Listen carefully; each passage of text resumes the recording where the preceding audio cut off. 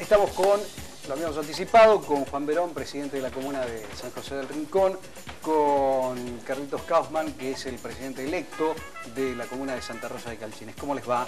Muy bien. Día. Buenos días. Bueno, eh, hay varios temas, pero uno que mm, pretendemos nos cuente, si nos cuenten y es una muy buena noticia para, para la comunidad de también Arroyo Leyes, porque sabemos que han viajado ustedes a, a Buenos Aires, y el tema es qué va a pasar con la basura. Sí, eh, efectivamente la semana pasada estuvimos participando de un evento, una jornada eh, integral sobre el tratamiento de residuos sólidos en Buenos Aires, que es una jornada muy intensiva que duró dos días. Durante todo el día hubo expositores, eh, paneles interesantísimos, sobre todo sobre experiencias que se están dando en, en el conurbano de Buenos Aires y en otras provincias donde este tema ya lo han abordado, como Córdoba, Salta, y hay varias provincias, hay varios lugares, sobre todo municipios. Y nosotros, como este tema también es un problema en San, José del Rincón, pero también en estas localidades de la costa, y, y como, así como con Carlos y con Eduardo nos conocemos y venimos transitando el, el camino de la política, ¿no? y hoy nos encuentra en una función tan importante como la de estar en una comuna, eh, tomamos la, iniciativa, tomamos la posta, creo que es lo mejor que podemos hacer, regionalizar estos problemas complejos como el tratamiento final de los residuos, de la basura diaria. Además de regionalizarlos, me parece que es importante que se puedan eh, eh, diseñar políticas que puedan mantenerse en el tiempo, políticas a largo plazo, porque eh, no tendría demasiado sentido buscar una solución que sea una solución coyuntural y que dentro de un par de años vuelvan a, estar en el mismo lugar sobre este punto, ¿no? Indudablemente que es muy importante que nos hayamos juntado y es una, causalidad en, la vida, que pensemos igual eh, los tres presidentes comunales, bueno en el caso de, Eduardo Lorenz y mío somos presidentes comunales electos y asumimos recién en diciembre, pero Juan ya está en funciones. Eh, digo que es una suerte que pensemos de la misma manera y que este, encaremos esto de manera regional y sustentable. Eh, en estas primeras jornadas nacionales, indudablemente a mí me tocó participar del panel de comunidad y gestión de residuos sólidos urbanos. Eh, en estas primeras jornadas eh, participaron eh, gente de universidades, de ONG, de cooperativas y, en general eh, la tendencia era cuando se empezaba a hablar de cómo se transmitía a la comunidad el problema de la gestión de residuos sólidos, el inconveniente que se encontraba continuamente era que debían comprenderlo los dirigentes políticos.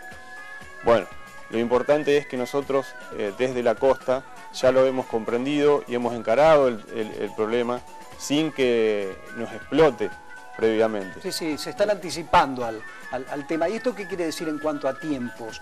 Eh, ¿cómo, cómo son los tiempos que ustedes manejan? ¿Cuándo podrían instalar una, una planta en, en- en- en, bueno, en el lugar que elijan, ¿no? pero, Sí. pero que sea equidistante seguramente? Estamos justamente en la elaboración del proyecto, de acuerdo también a, a estas instancias que propone el INTI, también en la provincia nosotros lo venimos encarando, Ustedes tendrían financiación. con el área de medio ambiente también, o sea, lo venimos trabajando con la provincia y con la nación, porque es un tema que, que va unido.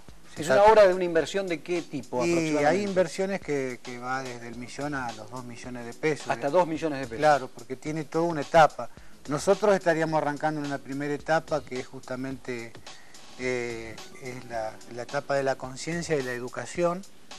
y, y en ese sentido, que el taller que me tocó a mí, que justamente nos dividimos para tratar de, Saber, saber un poco de, de todo. saber un poco de todo, el taller mío habló justamente sobre la responsabilidad de- de- del tratamiento en origen, o sea, en la familia. Claro, digamos, van camino a la recolección diferenciada, como se Claro, está haciendo en la sí. ciudad de Santa Fe. Claro, el primer paso sería la concientización y la educación para arrancar con la separación de residuos en origen, o sea, simplemente el residuo seco y el residuo sólido, o el orgánico y el inorgánico.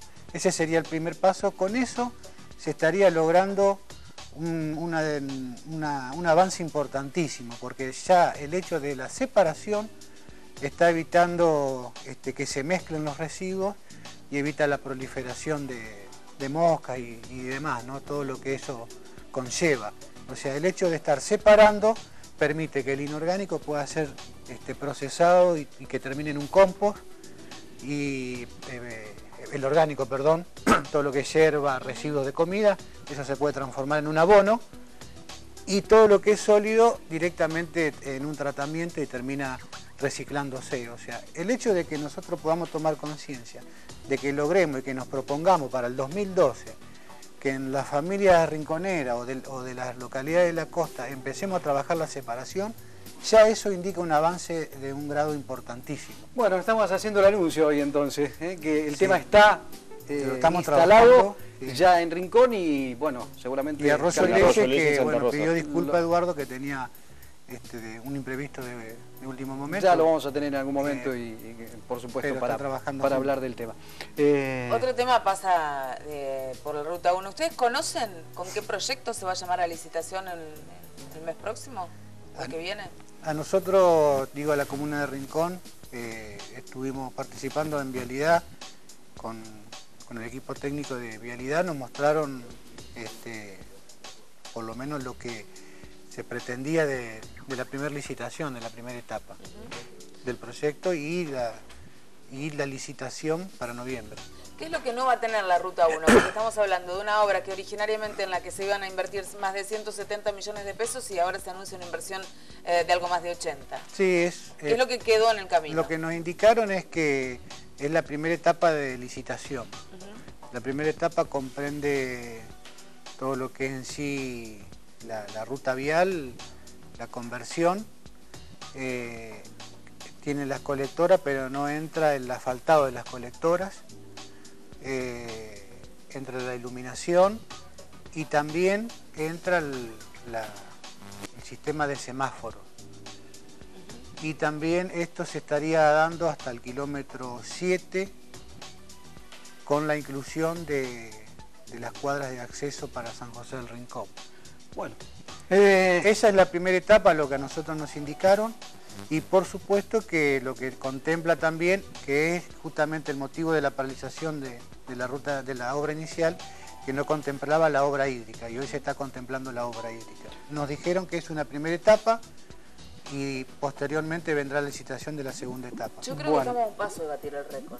Noviembre se prevé. No, no, pero ¿cuánto hace que, que venimos hablando de la Ruta 1? Primero el proyecto, después el llamado a licitación. Bueno, esperemos que se concrete la licitación el, 7 de noviembre como se anunció. Este año, que ¿Eh? podamos terminar el año. Por lo menos eso. Eh, es lo que siempre decíamos, ¿viste? Por lo menos terminemos el año brindando con la obra. Eh, digo a Carlos, nos encontraremos seguramente para hablar de Santa Rosa, de, tus proyectos, de futuro, eh, porque en poco tiempo vas a asumir un compromiso importante, así que eh, nos estaremos encontrando seguramente acá. Bueno, muchas gracias, lo vamos a asumir con responsabilidad y estamos a disposición.